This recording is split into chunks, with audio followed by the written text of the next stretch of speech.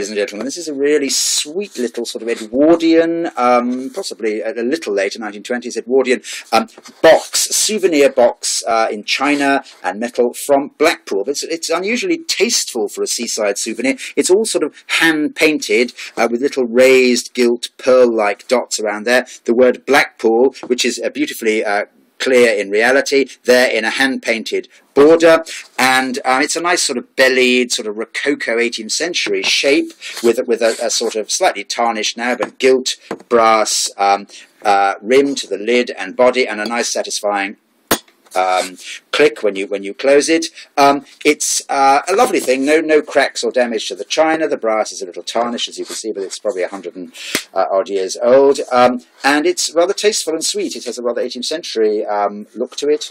Blackpool hand painted tourist souvenir from probably the Edwardian era. A useful little box for trinkets. Thanks so much. Bye.